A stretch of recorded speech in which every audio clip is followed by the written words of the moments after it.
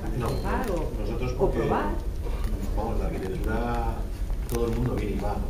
Nosotros Sí. de estudiante hemos salido y ahora pues la gente entra también. ¿no? Ajá, ajá. Es lo mismo.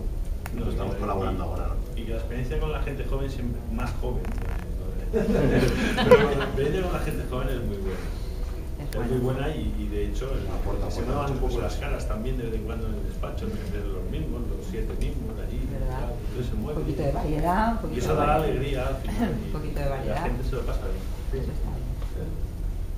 Más cosas, a ver, ¿por qué, por qué un día dijisteis, bueno, vamos a coger una persona práctica? No sé cuál fue el inicio, ¿eh? no sé si fue con vosotros, con algún instituto, con algún centro, no sé, pero siempre hay un principio de meterse en rollales. En mi caso, como te he explicado antes que lo hacíamos también con otro, sobre todo por apoyo eh, al tema de exportación, ¿no? que además era una motivación el hecho de tener una persona de otro país para, digamos, atacar, ¿no? Sea, francés o sea de Claro, Polonia, sea donde sea. ¿no? por beneficio también un poquito, Exacto, sí, ¿no? sí, evidentemente, sí. Claro. Porque claro, hay un objetivo empresarial. Un empresario tiene que tener un beneficio.